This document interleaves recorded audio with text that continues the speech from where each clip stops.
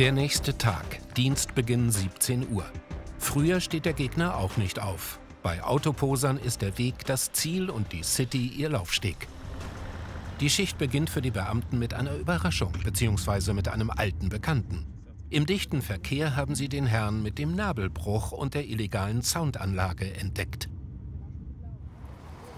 Rechts stand jetzt wieder der X, ähm, was war's denn, X5, X6, den wir gestern angehalten haben mit Soundgenerator.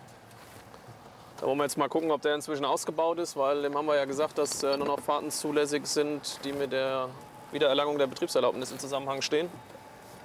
Und jetzt samstags abends hier wieder durch Frankfurt fahren. Schauen wir mal. Doch um zu schauen, müssen sie den Mann, der eigentlich gar nicht mehr fahren dürfte, erst mal zu fassen bekommen. Jetzt rechte Spur. Ja, ist er. Ein paar Runden müssen sie noch drehen, bevor die Verfolgungsfahrt zu Ende ist. In den Hauptrollen von Täglich grüßt das Soundsystem auch heute wieder zwei engagierte Ordnungshüter und ein uneinsichtiger BMW-Fahrer mit Erinnerungslücken. Das Ding ist ja immer noch drin. Solange das immer noch da drin ist und die andere Geschichte mit den Felgen nicht nachgewiesen ist, dürfen Sie nur noch zur Werkstatt, zum TÜV und zur Zulassungsstelle fahren. Ach so. Und nicht mehr hier Spaßfahrten in der Stadt. Ne? Okay. Hörst du das? das Naja, ich hab's eben gehört. Ja, ja. ist nicht laut.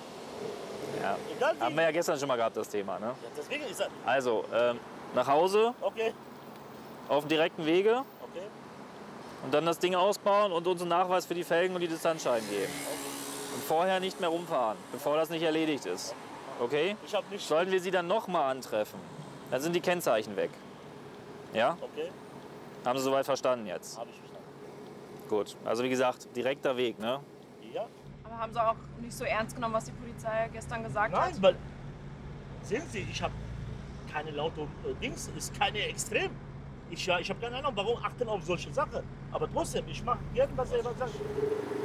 Für die Anwohner der Innenstadt ist der Motorenlärm ein echtes Ärgernis. Für die Poser reine Musik. Hilfreich bei geringem Selbstwertgefühl. Das ist auf jeden Fall ein Klientel, die sich ähm, ja, gerne nach außen hin darstellt, ähm, sei es durch ihr Fahrzeug, auf das sie mit Sicherheit meistens stolz sind. Fahren auch viele teure, hochwertige Autos durch die Gegend. Aber viele brauchen scheinbar auch diese Aufmerksamkeit. Ähm, haben es ja auch häufig, dass mit irgendwelchen gemieteten Fahrzeugen oder sowas gepostet wird. Dann kann man ja schlecht stolz auf das äh, Fahrzeug eigentlich sein. Aber dann ähm, erregen sie halt gerne Aufsehen durchs Fahrverhalten, durch Motor aufheulen lassen, irgendwo ähm, unsinnigen Runden beschleunigen und ja, fühlen sich dann scheinbar bestätigt. Inzwischen ist es später Abend geworden. Die Kontrolleinheit arbeitet zumeist in Zwölf-Stunden-Schichten. Mindestens sechs Stunden verbringen sie davon auf der Straße. Immer auf der Suche nach dem nächsten Störer. Aber irgendeiner klingt hier sehr komisch. Das Oder ist ist Soundgenerator. Ist das der Benz? Ja. Ja, stimmt. Das ist jetzt wieder mit sehr hoher Wahrscheinlichkeit ein Soundgenerator. Ja, ja. Das ist einfach, so klingt halt einfach kein echter äh, V8-Motor.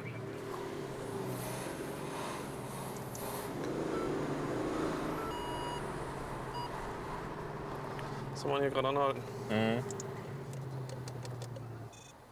Ach, guck mal, wie leise er plötzlich ist. Geil. Das ist ja echt.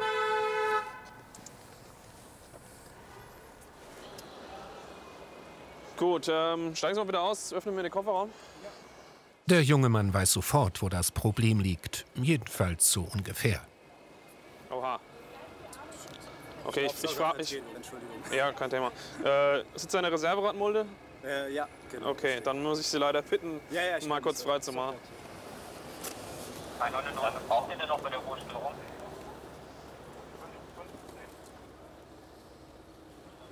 Gut, also äh, Soundgeneratoren sind nicht zulässig, ja. Äh, ich nehme an, dass Sie das schon geahnt haben. Ähm, kommt eine Ordnungswidrigkeit von, auf Sie zu von 90 Euro. Brauchen Sie, wie gesagt, keine Angaben jetzt bei uns zu machen. Äh, das dürfen Sie wieder einräumen. Ja, genau.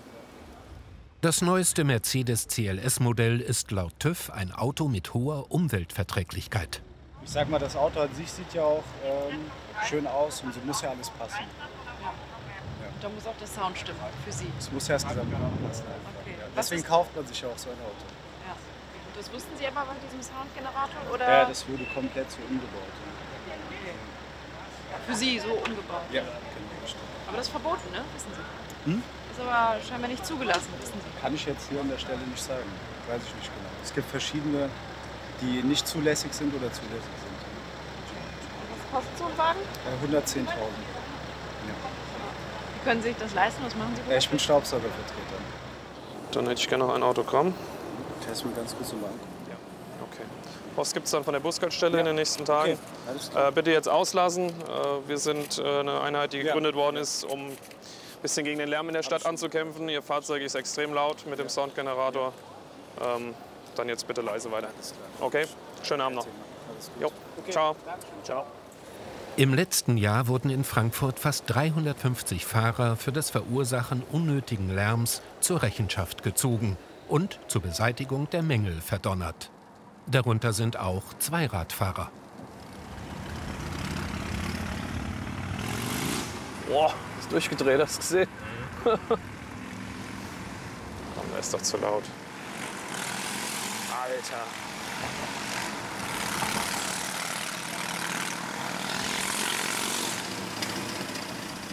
Machen Sie mal rechts drauf, bitte.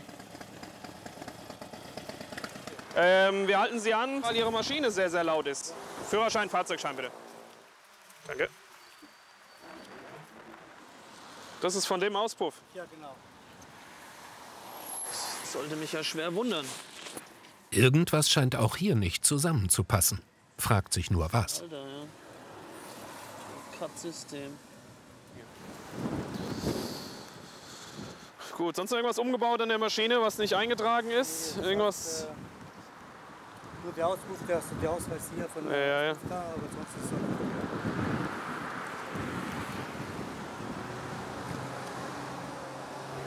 Wie heißt denn das Harley-Modell? Äh, äh, 48. 48. Ja. Gut, hier steht schon mal was von der Sportster XL 1200. Wie viel Kubik hat die? Äh, 1002. 1200. Darf ich mir den mal ausziehen? Ja, bitte. Der Italiener hat gerade seine Schicht als Kellner beendet. Die Harley, der Höhepunkt seiner Motorradleidenschaft.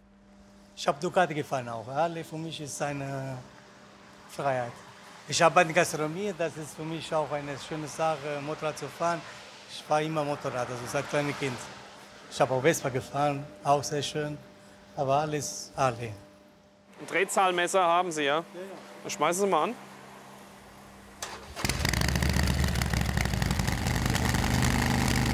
Der erste Eindruck hat nicht getäuscht. Das Ergebnis auf ohrenbetäubender Art ziemlich verboten. Selbst der Besitzer wirkt geschockt. Das ist sehr, sehr laut. Also Super laut, ja. 108 Dezibel. Klingeln die Ohren, ja.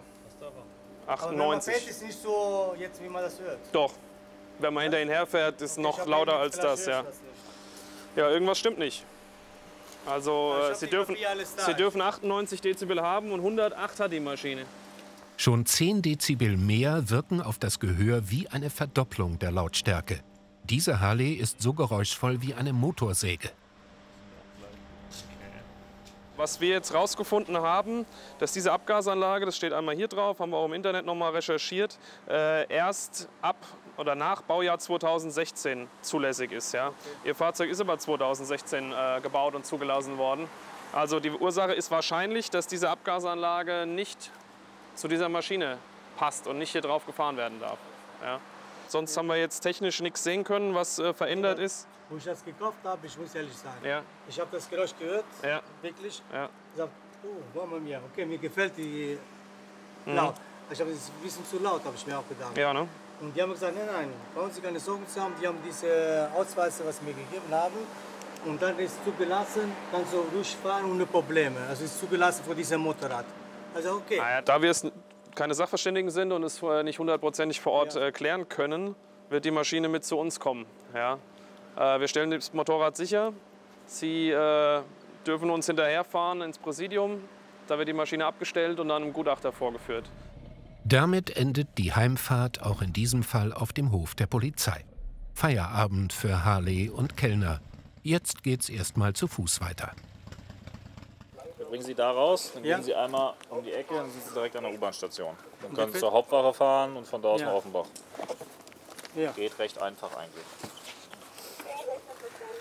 Ah, Halleluja. Nach der viel Arbeit, habe keine Hm. Was arbeiten Sie? Gastronomie. Okay, Zwölf Stunden habe ich gearbeitet. kenne ich. Kaputt. Kenne ich, Was ja. noch dazu? Dank seines sonnigen Gemüts scheint alles halb so schlimm. Und überhaupt, Bahnfahren ist ohnehin viel umweltfreundlicher. Gleich sehen Sie noch, Klimaschützer blockieren eine Straße. Der Kampf gegen das Auto. Mir ist das scheißegal. Kommen wir da jetzt noch rechtzeitig hin oder nicht? Das ist die Frage.